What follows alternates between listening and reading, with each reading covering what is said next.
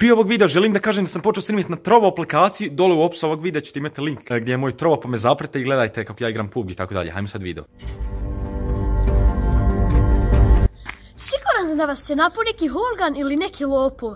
A danas ćemo vam ja i Kik pokazati pet načina kako da se odbranite od lopova ili huligana. I pozdrav svima ljudi, znači ja sam Maldin ovo je Ređo, znači kao što vam je Ređo najavio malo prije, e, danas ćemo pokazati pet načina kako da se odbranite od nekog huligana, lopova i tako dalje. Evo ovako, možemo da počnemo. Ja ću glumiti lopova, Ređo će glumiti toga nekog momka, to jest vas. Evo, na primjer, vi se spustate iz škole, završite školu i vas napadne neki lopov ili neki huligan. Na primjer, a taj huligan hoće da vas ubije ili da vas istuče. E sad ćemo pokazati što treba da uradite. Halo mali, kuda si krenuo, stani! E ljudi, trebate da što više, koliko god imate snage, vristajte da od ti drugi ljudi dođu u kao da vide šta je bilo.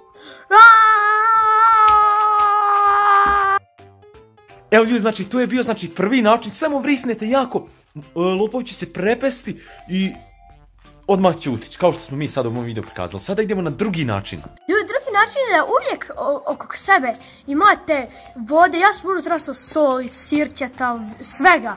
Recimo ljudi, ako dođe opet neki huligan ili lopov, vi njemu ponudite ovu vodu, on popije. Halo mali, kuda si krenuo, stani! Ne, nemam ja para, nemam ja ništa, evo hoćeš vode da se napiješ. Ako si žedan. Pa dobro mali, ako nemaš para, bolje ništa nek ništa, daj mi tu vodu vam. Bolje i voda nek pare, kad žeden.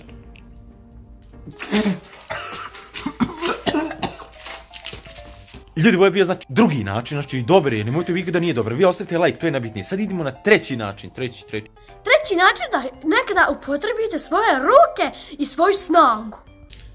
Halo mali, kuda si krenuo, stani! Nemam ja para, vidite gore kamiona na nebu. Kakvog mali kamiona? Ljudi, ovo je znači bio treći način, znači kao što reč kaže, nekad upotrebite svoje ruke i svoju snagu, sad idemo na četvrti način. Ljudi, četvrti način je da u, u sebe imate uvijek neki lak, neki sprej, neki parfem, da morate e, lopova u oči sa njim spricati. Halo mali, kuda si krenuo, stani! Gdje ste lopove, šta ima? Aj, moje oči, konju jedan, aj! Ljudi, peti način je znači da u sebe imate neku igračku, recimo pištolj, evo, mi imamo ovo, znači ovaj igračku pištolj, to znači ko pravi pištolj i lopov će vjerovatno pomisliti da je to pravi pištolj pa će utići i prepasti se. Sada ćemo vam pokazati kako to da uradite. Halo mali, kuda si krenuo, stani! Šta je lopove, šta je materi? O, mali, otkud taj pištolj, Bog ti dao?